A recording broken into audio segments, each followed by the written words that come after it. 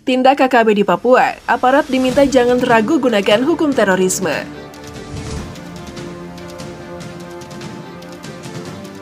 TNI sebagai patok NKRI tidak pernah mundur sejengkal pun untuk menjaga kedaulatan wilayah RI dan itu masih konsisten dilaksanakan di Papua. Panglima TNI dengan tegas menyampaikan untuk ambil tindakan, jangan ragu-ragu.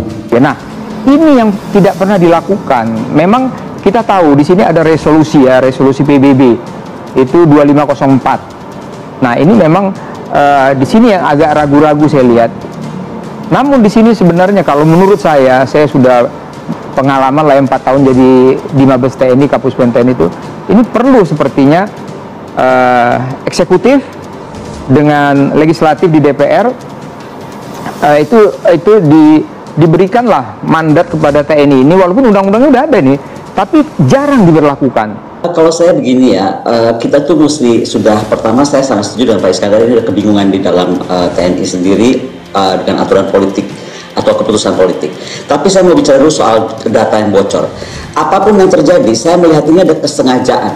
Saya sudah beberapa kali melihat uh, Papua ini dan ini terbesar ya. Uh, satu meninggal, uh, apa namanya enam orang di uh, apa sembilan orang juga tertangkap, enam meninggal, 21 tidak jelas statusnya.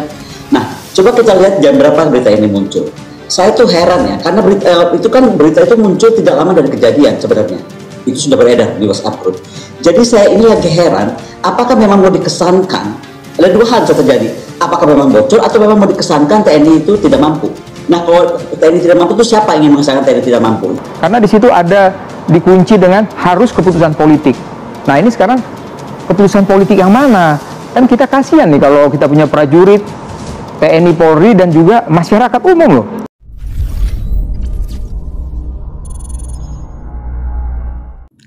Tindak KKB di Papua, aparat diminta jangan ragu gunakan hukum terorisme. Kepala BNPT Komjen Pol Boy Rafli Amar meminta aparat penegak hukum agar tidak ragu-ragu menggunakan hukum terorisme dalam menindak anggota kelompok kriminal bersenjata atau KKB di Papua karena merupakan kejahatan terorisme. KKB itu sudah merupakan bagian dari kejahatan terorisme, ujar Komjen Pol Boy Rafli Amar di Jakarta belum lama ini. Komjen Pol Boy Rafli mengatakan saat ini lembaga yang dipimpinnya terus melakukan koordinasi dengan aparat penegak hukum terkait penanganan KKB di Papua. Ia meminta aparat penegak hukum agar tak ragu karena Indonesia sudah memiliki landasan dalam menindak, yakni Undang-Undang Nomor 5 Tahun 2018 tentang pemberantasan tindak pidana terorisme. Di samping itu, BNPT juga memiliki sejumlah program yang digunakan dalam menciptakan kedamaian di Papua. Program tersebut yakni Duta Damai, Forum Koordinasi Pencegahan Terorisme yang melibatkan langsung anak-anak Papua. Kami terus menyelenggarakan program pencegahan itu dengan mengedepankan para pemuda dan pemudi di Papua, ujar Komjen Pol Boy Rafli. Kemudian terkait penegakan hukum pemerintah terutama instansi terkait yakni TNI atau Polri saat ini terus berproses terutama dalam hal pembebasan Kapten Philip Max Martens pilot Susi Air yang disandra anggota KKB. Jadi semua on the track dan yang terpenting orang Papua harus terus kami berikan pencerahan agar jangan sampai ikut narasi yang dibangun jaringan KKB yang menghalalkan kekerasan dalam mencapai tujuan.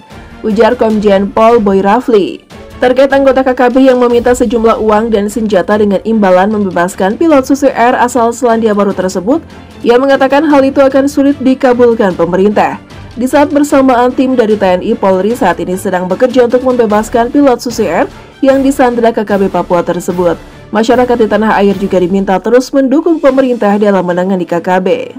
Tentu kita tidak ingin tuntutan yang sifatnya di luar akal sehat untuk dipenuhi, tegas Komjen Pol Boy Rafli.